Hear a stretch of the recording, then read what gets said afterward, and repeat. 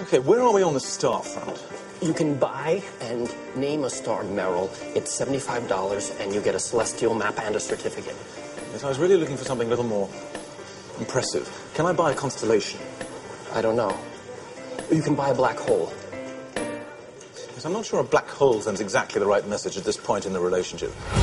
You have to stop sending things. It's just getting very awkward. I understand, I won't. I just have one more little thing. Dr. Tobin is apparently the best marriage counselor in the city, and the learners recommended her. They've been divorced for a year. They have, they have, but the one thing they do agree on is how much they love Dr. Tobin. Do you still love me at all? I don't know if I can love you a little. That's... I, I, I can get by on a little less love for a while. Maybe years. I'm sorry. I have to go. There's my client. What's he doing in the...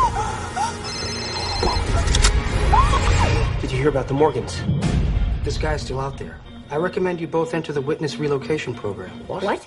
I can't commit to spending the rest of my life with my husband. I know exactly how you feel.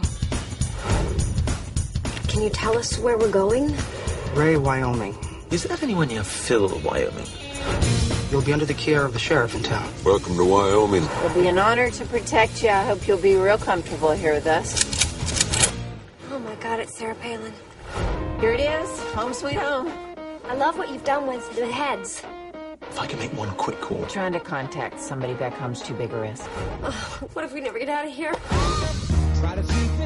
You right, Pop? Yes, I had some lessons when I was a child. Oh, I never knew that. Yeah, well, I, I don't tell you everything. So. Yeah, I knew that.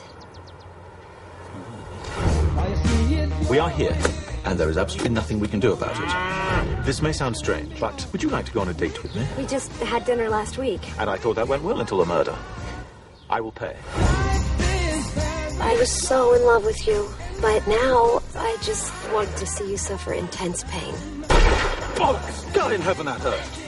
Agony! Do you remember your vows? Was once a girl from Nantucket.